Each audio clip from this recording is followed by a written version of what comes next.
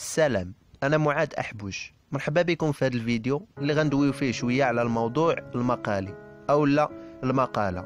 نتوما عارفين شنو هي المقالة وعارفين باللي عليها عشرة ديال النقط يعني أن البلاصة اللي فيها الماكلة بزاف فيها خصك تاكل النقط بزاف وخصك تجيب النقاط اللي غيمكنوك باش تجيب فوق المونسيون هي المقالة. إلا جبتي عشرة ديال النقاط في المقالة أعرف أنك راك ضمنتي من 18 حتى ل 20 في الفرد أو في الجهوي علاش؟ حيتاش الأسئلة الأخرين كيكونوا ساهلين وممكن تجبدهم غير من النص غير من الوثائق اللي عطاوك. أوكي دابا غنفهموا كيفاش كتكتب المقالة وكيفاش يمكن لك تجيب فيها 10 على 10 في المقالة كاين ثلاثة ديال الحوايج كاين مقدمة وكاين عرض وكاين خاتمة. مقدمة وعرض وخاتمة. خاصك ديرهم بثلاثه ما خصك تزقل حتى وحدة فيهم. باش تقصي الماكلة ديال النقاط كاملين خاصك ضروري ديرهم بثلاثه إلا زقلتي غير وحدة مثلا زقلتي المقدمة ودرتي العرض والخاتمة أو لا المقدمة والعرض درتيهم وزقلتي الخاتمة راه كينقص لك النقاط. وأنا بغيتك تقصي النقاط كاملين. يعني تجيب عشرة على عشرة باش أنك تجيب واحد ستة النقاط أو ثمانية النقاط مهم كيبقى لك أنك تجيب مونسيون يكون في جيبك. يعني من 18 حتى ل 20 حيت إلا جبتي في المقالة 10 ديال النقاط راه النقاط الأخرين يمكن لك تجيبهم حيت كتجبد الأسئلة الأخرين غير من الوثائق ولا مثلا المفاهيم يمكن لك تجبدهم غير من راسك. وهكا يمكن لك تجيب من 18 حتى ل 20 سواء في الفروض ديال القسم سواء في الجهوي. أوكي اختاريت هذا الفرد هذا وغنوريكم كيفاش تكتبوا عليه مقالة. وخاصك تعرف أنك من حقك تكتب المقالة بأي طريقة بغيتي بطريقتك الخاصة غير هو الجواب يكون جواب صحيح. أي مقالة خاصك تبدأها بمقدمة. شنو خاصك دير في المقدمة؟ كيعطيوك مثلا جملة وضعت سياسة إعداد التراب الوطني عدة اختيارات لتجاوز التحديات التي يواجهها. التراب الوطني. شنو خاصك دير لهاد الجملة؟ خاصك تقلبها فهمتي؟ خاصك تجيب أنا نفهمك كيفاش. خاصك تحط الجملة الأخرى في الأول والجملة الأولى في التالي.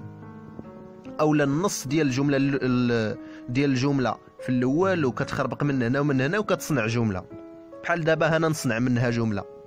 التراب الوطني يواجه عدة تحديات مما جعل من سياسة إعداد التراب الوطني من وضع عدة اختيارات لتجاوزها.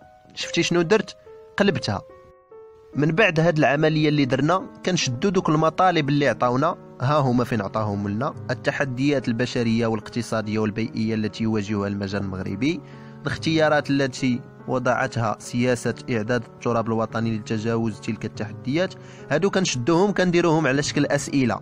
كنديرو مثلا ما هي التحديات البشرية والاقتصادية والبيئية التي يواجهها المجال المغربي؟ وما هي الاختيارات التي يضع وضعتها سياسة إعداد التراب الوطني لتجاوز تلك التحديات؟ وهكا كتكون عندك ثلاثة ديال النقاط في جيبك وساهلة. يعني كتجبدها غير من هادشي اللي عطاوك. المقدمة كتجبدها غير من هادشي اللي عطاوك. فهمتي يا صاحبي؟ ها حنا دابا سالينا المقدمة. أجي ندخلو في القصعة ديال الكسكسو الكبيرة. اللي هي العرض. العرض ساهل. خاصك غير تحط داكشي اللي فهمتي من من هذا الدرس هذا. مثلا التحديات البشرية والاقتصادية والبيئية التي يواجهها المجال المغربي. الدرس داكشي من الدرس. وخصك غير تزيد واحد شوية ديال مثلا النقط لي فيغول مثلا كتبدا الجملة بواحد الكلمة بحال تتجلى التحديات البشرية وتم خدام. داكشي من الدرس. وعاود تاني تتجلى التحديات الاقتصادية تتتا وتبقى خدام. وعاود تاني تتجلى التحديات البيئية وانت خدام. وكل وحدة ديرها بوحديتها. الطلب الثاني هو الاختيارات التي وضعتها سياسة الإعداد التراب الوطني لتجاوز تلك التحديات. شنو كدير؟ كتبداها بوضعت سياسة الإعداد التراب الوطني عدة اختيارات لتجاوز وكتبقى خدام. شنو هي هاد الاختيارات هذه اللي دارتها؟ سياسة الإعداد للتراب الوطني داكشي من الدرس. والحاجة اللي نقدر ننصحك بها هي زوق زوق زوق مزيان زوق تبيع. خاصك تزوق شوية الكلام ديالك وتقاد من هنا لي فيرغيل لي بوان داكشي. تقادو على حقو طريقو وسطر. ولا قديتي دير آه، واحد شوية ديال الرسم ترسم داكشي على شكل بحال واحد القصيدة ولا شي حاجة حاول ديرها. حاول ديما تزوق باش الأستاذ يزيدك النقطة. وما يلقى ما يقول في النظام ديال الورقه يعني يحط لك عشرة ديالك. إيوا ها أنت ساليتي العرض. العرض راه غير من الدرس يعني داكشي اللي فهمتي من الدرس هو اللي كيطلبوا لك في العرض. وكتحطو أنت في العرض وكتجيب خمسة النقط ديالك ديال العرض. غنساليو باش بالخاتمة. ديما المقالة كتسالي بخاتمة ولكن قليل اللي كيعرف كيفاش يخدم الخاتمة.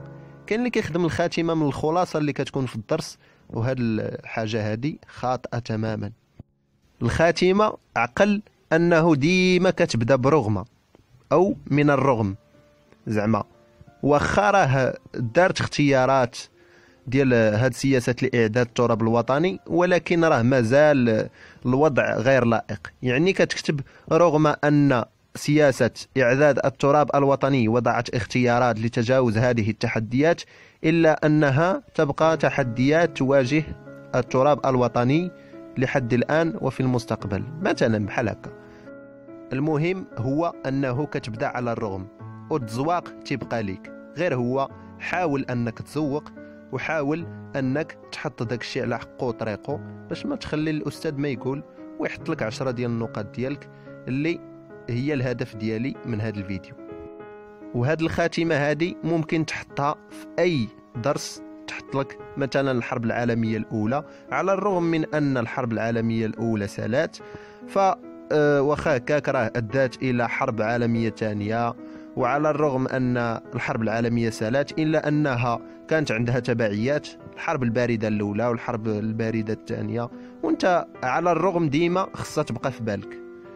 وكتسالي بشي حاجة أخرى فهمتي؟ بشي حاجة بالماد بالدرس اللي جاي من موراها. وهكا غنكونوا فهمنا هاد المقالة كيفاش كتكتب. كنتمنى كنتمنى كنتمنى من كل قلبي أنك تجيب 10 ديال النقاط. الهدف ديالي هو تجيب ديك 10 ديال النقاط حيت مهمة ليك وهي باش غتجيب ال mention في الفرض أو في الجهوي OK؟ تفهمنا؟ يلا ما تنساش 10 على 10 في المقالة. إلى عجبك هذا الفيديو ما تنساش دير like و subscribe وما تنساش ت partager ه مع صحابك ولا. المهم اللي عجبك ديرو اللي ما عجبكش ما ديروش. المهم هو تستافد نتايا. ودخلوا عندي الانستغرام إلا بغيتو تواصلوا معايا في شي سؤال أو في شي حاجة. وتسناو الدروس راه غنلوحهم فيما قريب شكرا لكم إلى اللقاء.